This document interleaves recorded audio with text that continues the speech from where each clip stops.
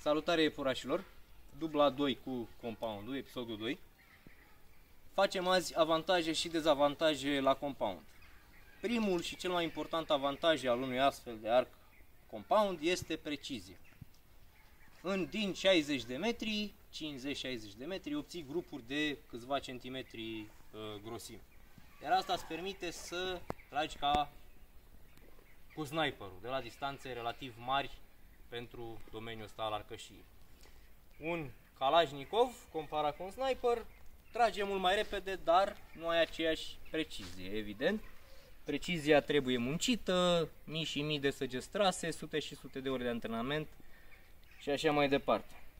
Uh, alt dezavantaj al compoundului este legat de sistemul de ochire și de faptul că trebuie să estimezi foarte corect distanța la care se află ținta. Dacă pui pinul greșit, dacă e ținta la 20 de metri și tu ai pus pinul de 30 de metri, uh, dai peste. Dacă invers, ținta e la 40 și tu pui pinul de 30, dai sub țintă. Și atunci trebuie să știi să estimezi foarte, foarte bine distanțele și asta se vede în concursuri. Uh, pe la concursuri, majoritatea erorilor sunt legate de estimarea distanței, nu de uh, arcul sau de execuția în sine. Alt dezavantaj al compoundului este uh, target acquisition, cum se zice în engleză, ipotetic, pentru că la noi în țară e ilegal.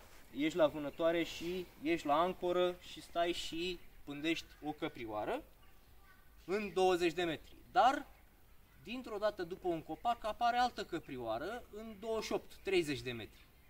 E, ca să ajustezi de la aia de 20 și să faci achiziție pe noua țintă și așa mai departe, e nevoie de puțin efort și de ceva timp și riști ca aia mai mare și mai frumoasă sau cerbola dita mai trofeu să fugă până apuci tu să achiziționezi ținta. Și atunci este un alt, alt uh, dezavantaj.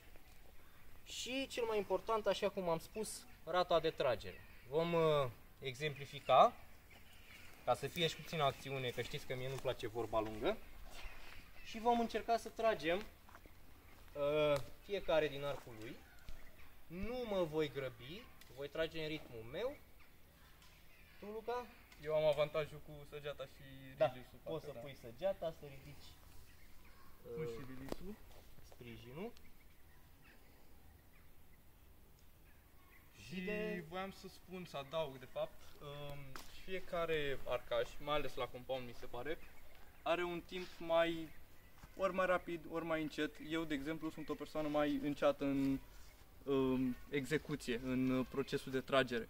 Mie îmi durează, nu pun pinul și în secunda în care pinul lovește ținta, nu trag. Eu, eu am mai încet puțin. Acum nu zic că e corect sau greșit sau nu mă bag aici. e uh, individuală, e foarte... ca orice disciplină, de fapt, al tirului cu arcul. Dar asta v-am să adaug eu. De asta s-ar putea să fie o diferență mai mare între mine și Florin. Așa. Ești gata? 2, 3 și...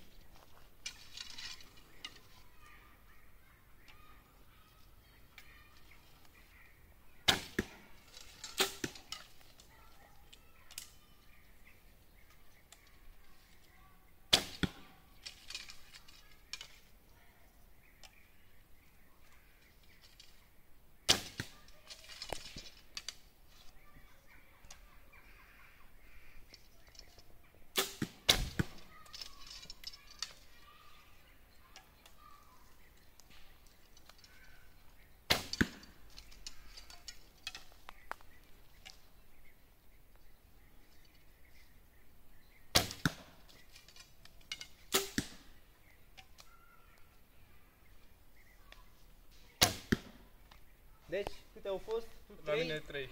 Și la Eu- tine a 7 a fost. 6, 6 jumate acolo.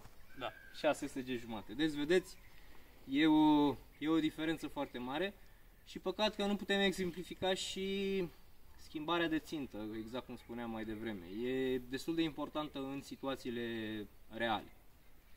Cam atât pentru azi. Vă salut!